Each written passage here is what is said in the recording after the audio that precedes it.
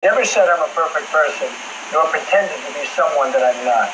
I've said and done things I regret, and the words released today on this more than a decade old video are one of them. Anyone who knows me knows these words don't reflect who I am.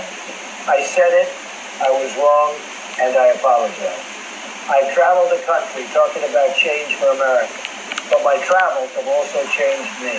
I've spent time with grieving mothers who've lost their children, laid off workers whose jobs have gone to other countries, and people from all walks of life who just want a better future. I have gotten to know the great people of our country, and I've been humbled by the faith they've placed in me. I pledge to be a better man tomorrow and will never, ever let you down. Let's be honest, we're living in the real world. This is nothing more than a distraction from the important issues we're facing today.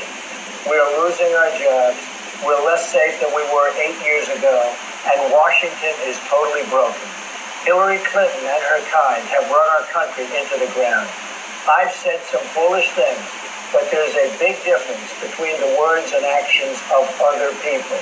Bill Clinton has actually abused women, and Hillary has bullied, attacked, shamed, and intimidated his victims. We will discuss this more in the coming days. See you at the debate on Sunday.